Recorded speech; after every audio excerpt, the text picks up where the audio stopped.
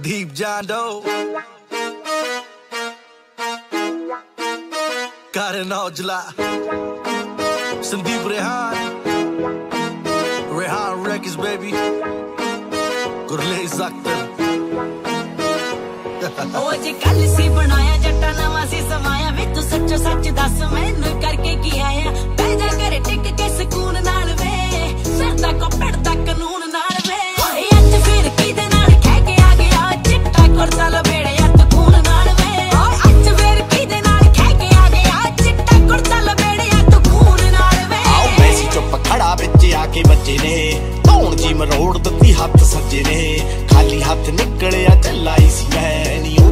ਚਾਰ ਸੀਗੇ ਕੱਲਾ ਹੀ ਸੀ ਮੈਂ। ਆਖਦੇ ਸੀ ਲੋਕਾਂ ਨੂੰ ਕਿ ਧੱਕਾ ਕਰਨਾ। ਬੋਲਦੇ ਹੀ ਸੀਗੇ ਕਿਸੇ ਟੱਕਾ ਕਰਨਾ। ਹੱਲ ਮੈਨੂੰ ਪੈ ਗਿਆ ਸੀ ਪੱਕਾ ਕਰਨਾ। ਇੰਨੇ ਵਿੱਚ ਕੁੜੇ ਸਾਰਾ ਨਿਬੜ ਗਿਆ।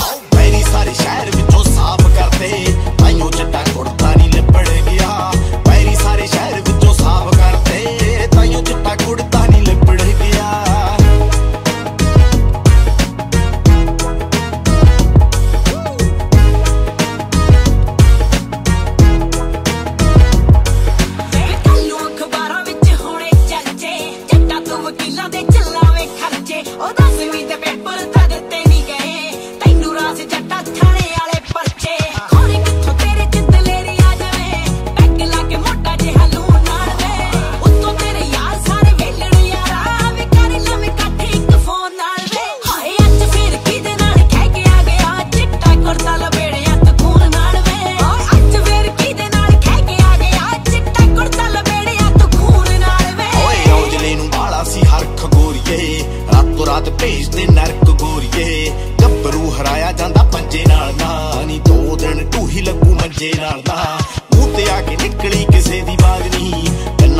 ਜਿਹੜੀਆਂ ਨਾ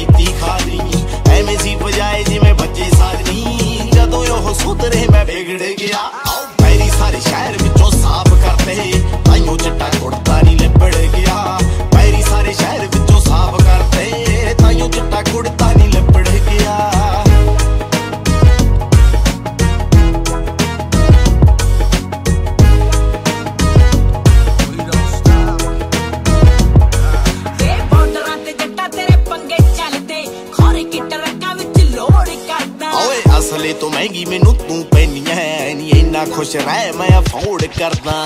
ਰੁਕੂਗਾ ਜਟਾਣੀ ਬਾਹਰ ਚੱਲਦਾ। ਉਹ ਜੱਟ ਜੇ ਰੁਕੇ ਨਹੀਂ ਬੀਬਾ ਫਿਰ ਚੱਲਦਾ।